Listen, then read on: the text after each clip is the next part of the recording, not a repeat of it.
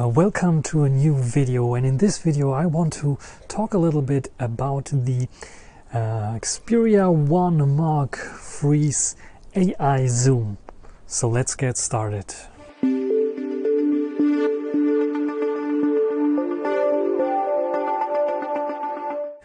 So some of you might ask themselves what is AI Zoom? Never heard of it.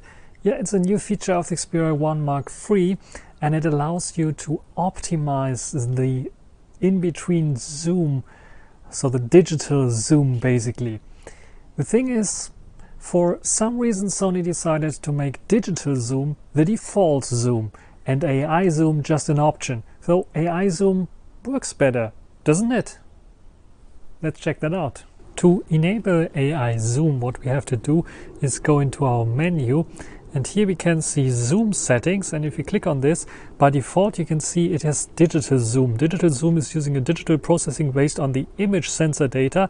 And then we have AI super resolution zoom which is a zoom using digital processing that preserves more of the original image quality. Saving photos may take a longer time. This will automatically function as digital zoom when continuous shooting is selected.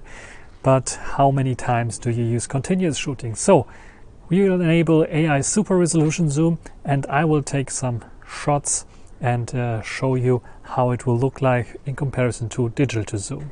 In general, I expected a little bit more of the AI zoom when you compare photos without AI zoom and taken with AI zoom, even if you pixel peep on some photos and make them 100%, you don't really notice any difference.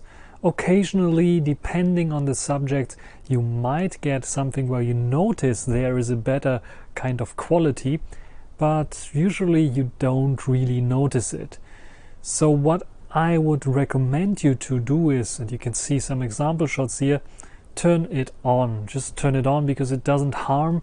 It does not improve every subject and every photo, but occasionally here and there you can find a little bit of more sharpness, a little bit of more details in the AI zoom shots, especially if you tend to zoom in between the physical zoom capabilities of the Xperia 1 Mark III.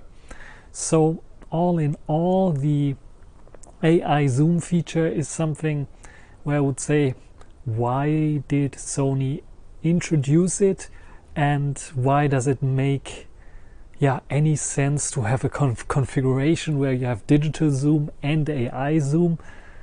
Uh, because there is obviously almost no difference at all. So Sony could just have instead of giving us such options just take this option away and give us an option where we can say have continuous zoom where we can zoom in through the lenses even even if we have this like bump even in, in video mode or something like this. This would be a far better option to have in the Photo Pro app for videographers especially, but also for photographers uh, than this like buttons that you have to press and then you can zoom in through the lens there. Uh, what do you think? Write it down in the comment section. That is everything for this video. Hope you enjoyed it. Thanks for watching. Until the next time. Bye.